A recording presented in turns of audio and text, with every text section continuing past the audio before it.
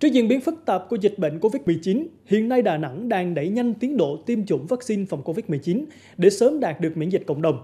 Tổ chức tiêm chủng trong điều kiện giãn cách xã hội, thành phố đã huy động tối đa lực lượng cùng sự hỗ trợ của lực lượng tình nguyện viên để đảm bảo tiêm chủng an toàn, ghi nhận của phóng viên thời sự Đà Nẵng TV. Với hai điểm tiêm chủng, thời gian này, mỗi ngày quận Ngũ Hành Sơn có khoảng 5.000 người đến tiêm.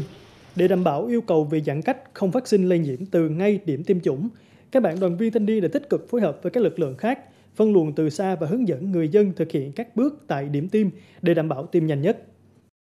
Ra quân mỗi ngày là 60 bạn đoàn viên thanh niên à, tình nguyện tại à, hai cái điểm tiêm là nhà văn hóa quận và trường Trần Đại Nghĩa. Trong à, cái quá trình à, tiêm cho toàn nhân dân thì có nhiều đối tượng rất là đặc thù, à, ví dụ như là lực lượng người dân bị yếu thế, ví dụ là người già, người tàn tật thì lực lượng đoàn viên cũng bố trí sẵn à, những cái cái công cụ ví dụ như là xe lăn hoặc là à, bố trí sẵn lực lượng để mà hỗ trợ kịp thời à, cho các cái đối tượng yếu thế đó. Từ ngày 15 đến ngày 21 tháng 9, Đà Nẵng triển khai chiến dịch tiêm chủng có quy mô lớn nhất từ trước đến nay với hơn 192.000 người được tiêm chủng. Nhiều điểm tiêm chủng đã được thiết lập với 120 bàn tiêm.